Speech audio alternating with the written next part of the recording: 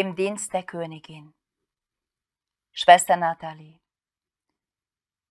wenn wir uns oft mit unserer makellosen Mutter befassen und in ihrem Anliegen apostolisch wirken, so seien wir in keinem Augenblick besorgt, dass Jesus darauf zu kurz käme. Die Mutter Gottes existiert nicht in sich.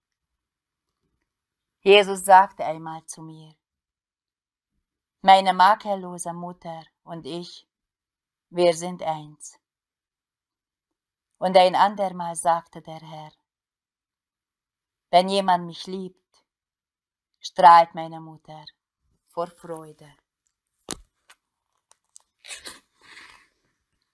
Zu jeder unserer Handlung, Arbeit, Meditation, Rosenkranz, sollen wir auf Jesu Wunsch sagen, zur Freude der makellosen Mutter Maria. In der ewigen Herrlichkeit existiert die Mutter Gottes nicht für sich. Sie geht auch nicht auf in der Welt der allerheiligsten Dreifaltigkeit, sondern sie ist desselben Glanzes teilhaftig, wie ihr Sohn Jesus Christus in seiner verherrlichten menschlichen Natur. Das macht sie dazu fähig, uns, ihren Kindern, die verborgenen Geheimnisse des Weltalls und der Ewigkeit zu entschleiern und über Tatsachen der Vergangenheit und Zukunft offen zu sprechen.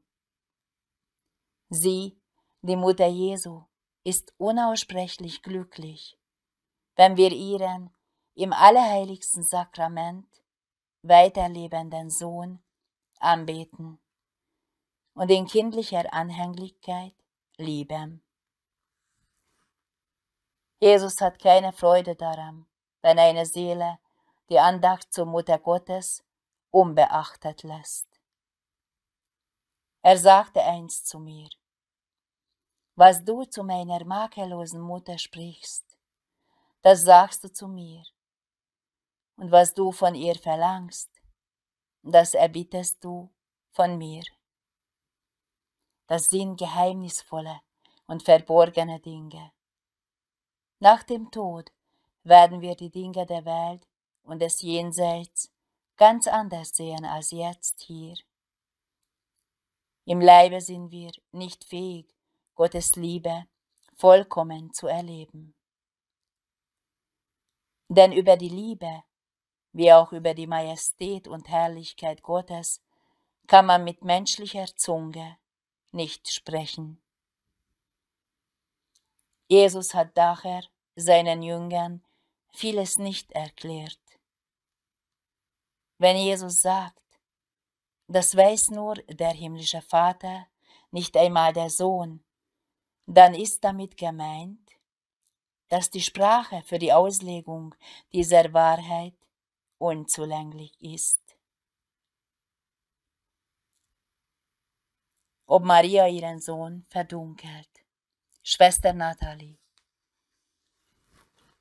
Ich liebte die Mutter Gottes so sehr, dass ich für sie schwärmte.